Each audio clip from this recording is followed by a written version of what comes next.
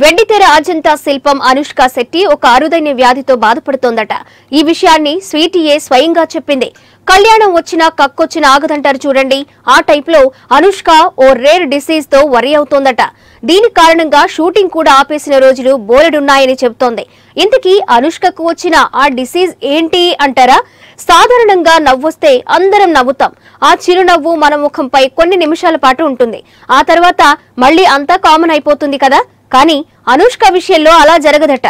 ఒక్కసారి నవ్వొస్తే ఆపుకోవడం చాలా కష్టమని స్వీటీ అంటోంది. అంతేకాదు ఆ నవ్వు కంటిన్యూగా పది నుంచి పదిహేను నిమిషాల వరకు వస్తూనే ఉంటుందట.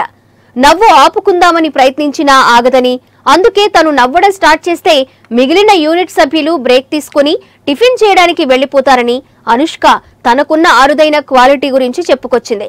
ప్రస్తుతం అనుష్క హీరో నవీన్ పోలిశెట్టి సరసన మిస్టర్ పోలిశెట్టి చిత్రంలో నటిస్తున్నారు.